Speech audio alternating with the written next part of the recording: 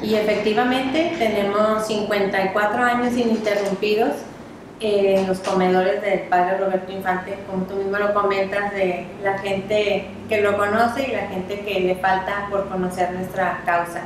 El padre Roberto Infante Castañeda, nuestro fundador, inició, yo creo que desde el 67, eh, atendiendo a la gente en situación de calle que él veía cerca de su parroquia y es algo que le preocupó porque pues el hambre este, pues es algo esencial cubrir, o sea, lo que es la alimentación.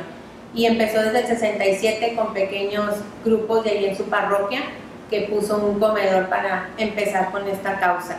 Ya en 1969 ya se institucionalizó ya legalmente como asociación civil, que el nombre legal es Juan 23 al servicio de los pobres, pero realmente nos conocen como el comedor del padre Roberto Infante. Y desde ahí inició su obra, que efectivamente empezó ahí en Goretti, donde estaba la parroquia. Eh, se compró así como el terreno de enfrente, se hizo el comedor y aparte empezó a darle albergue a ciertas personas. Pero su obra pues no termina ahí, de ahí se desprenden cuatro comedores más. Dos de ellos, él tuvo la oportunidad de poner la primera piedra y uno es en el comedor de Escobedo, que fue inaugurado en el 2005. Después tuvo la oportunidad de inaugurar el comedor de García, que fue en el 2008. Ya después de ahí viene el comedor de Guadalupe en el 2013 y en el 2014 el de Monterrey, que está en la colonia Independencia. Y estamos a punto del próximo mes de abrir uno en Juárez, Los Naranjos.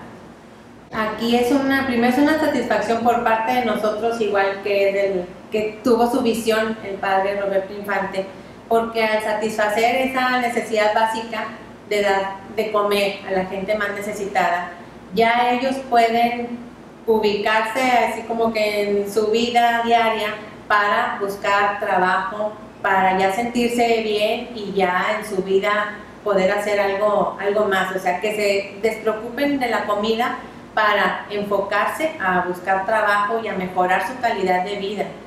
Hay familias completas, desde bebés hasta adultos mayores, que obviamente en esas edades pues ya no trabajan. Hay muchos ancianos que están abandonados y a los cuales les estamos dando de comer, al igual que a los niños o a las mamás este, solteras que hay, mamás que, que van y van por su plato de alimento. Hay muchos niños en edad escolar este, es lo que quiero que la gente alcance a visualizar. O sea, aquí, bueno, no se ven las, las fotos, ¿verdad? Que se puedan ver que no es este, a uno y de que al rato ya este, venga por su plato de comida, sino ellos también están buscando su trabajo.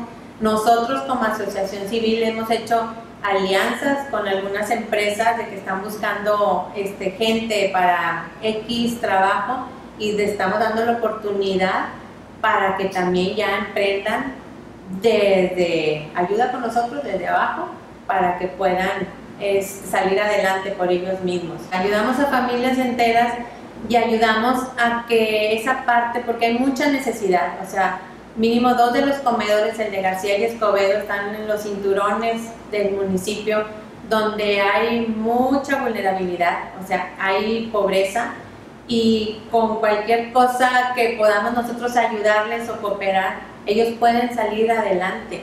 Y no es este, vuelvo a lo mismo, no es de que les estamos solucionando la vida. Si pudiéramos hacer un poquito más, eh, adelante.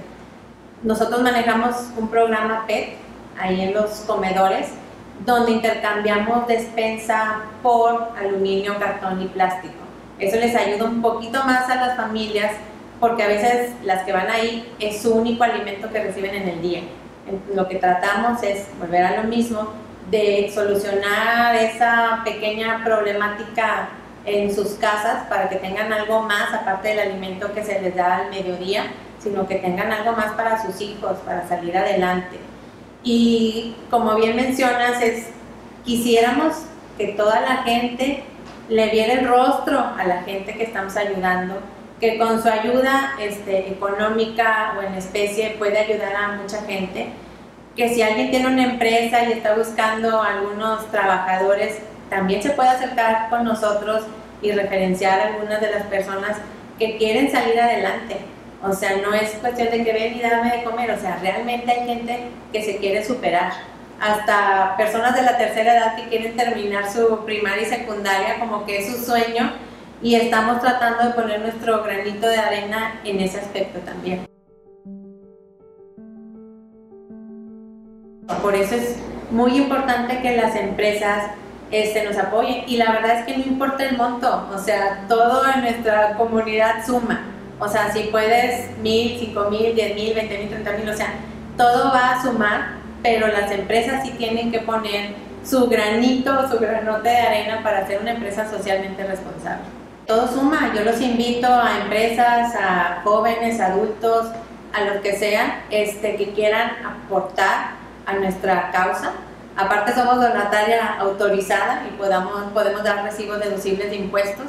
Entonces yo los invito, invito que nos conozcan. Las puertas de los comedores están abiertas, o sea, porque a mí me gustaría que la gente se apuntara para que fuera y conociera a las personas, este, para que con mayor razón, así como que con el corazón ahí, que tengan todos los sentimientos a flor de piel, eh, lo conozcan.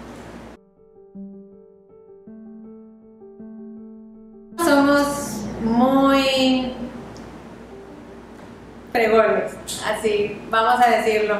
La verdad es que cuando nos unimos, cuando ha habido necesidades en otros estados, los regiomontanos, regiomontanos somos los primeros que nos apuntamos para ayudar a otros estados. Y por qué no apoyar a tu propio estado, a Nuevo León, que está muy necesitado. Eh, no somos todos, somos todos los contrarios, somos muy desprendidos.